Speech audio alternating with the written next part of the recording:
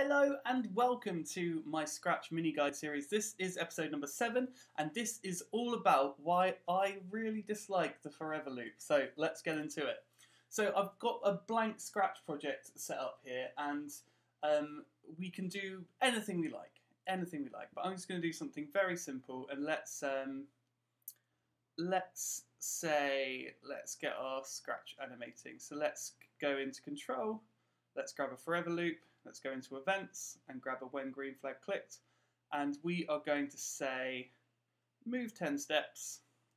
And we are going to say if touching the wall or if touching the edge, we're going to turn around. So if uh, sensing, let's grab a touching the edge. And if we're going to touch the edge, then we're going to turn 180 degrees.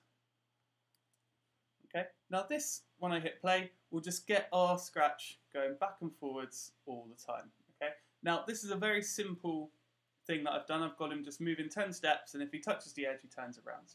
But I've not thought carefully about when I want him to stop. Okay, he's going to do this forever. And this is quite a sloppy way of programming because actually there might be a condition that I want to happen when he uh, to, to stop him from or stop the cat from moving. So let's think about this in a more particular way.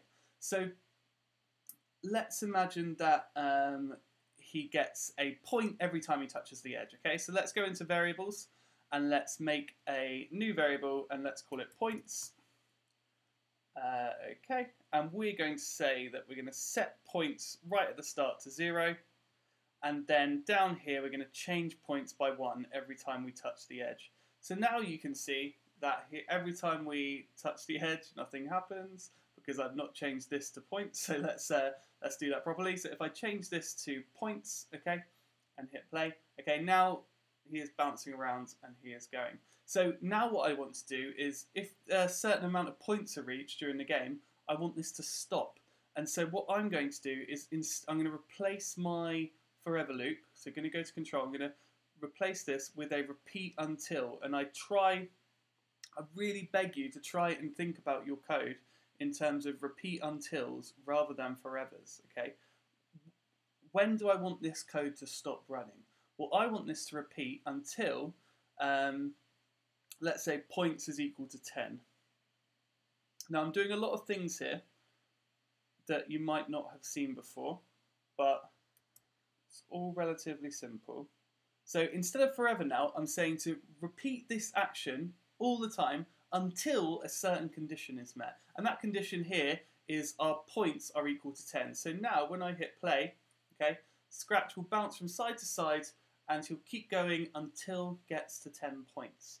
And that's really important. I've put a condition in there that will stop him from moving. Okay, here we go, 10, stopped. And that is the end of the code. Now, the points might not change every time he touches the edge.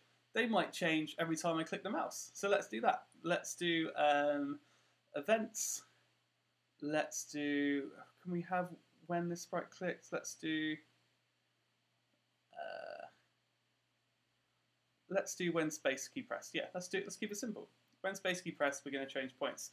Okay, so let's imagine there was something in your game that was um, counting the amount of points. I'm just going to press the spacebar, but you could imagine this might be collecting things or killing enemies or um, uh, finding kind of rewards. But we'll just do this. So if I hit play, now points aren't going to go up while he is bouncing off the walls, but every time I hit the spacebar, it's going to go up one. So here we go: one, two, three, four, five, six, seven and he will keep bouncing and bouncing and bouncing and bouncing and bouncing until those points get to 10 and that is when I want the game to end and I want him to stop in his tracks. So I'm going to try and get him to stop in the middle of the page so here we go.